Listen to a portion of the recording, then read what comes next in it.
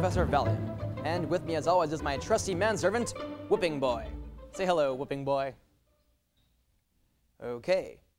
You may remember my likeness from such inventions such as the Robot-o-motron 5000, the Ray Gunnator .5, and of course, pizza-flavored Viagra in a can. And today I'm here to showcase my latest invention, the MM1, which of course is abbreviated for the Monster Maker 1. Now you might be asking yourself, what does the MM1 do? Well, quite simply, the MM1 allows any individual to almost be instantaneously transformed into a hideous abomination against God. You might also inquire as to why N would want to make a person into a monster. But let's move on. Now, in order to show the true power of the MM1, I'll need a completely voluntary test subject. Whipping Boy, please bring out voluntary test subject number 6060842.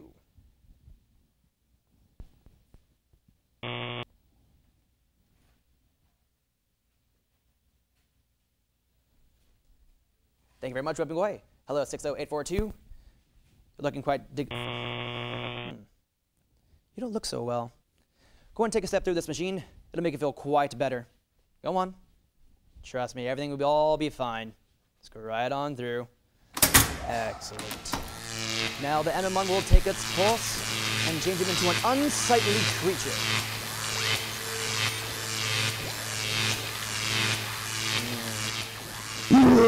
What's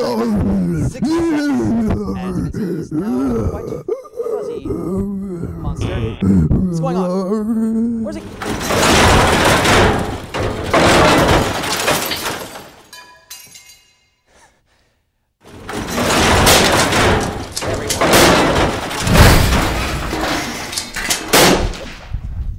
And remember, science and honor.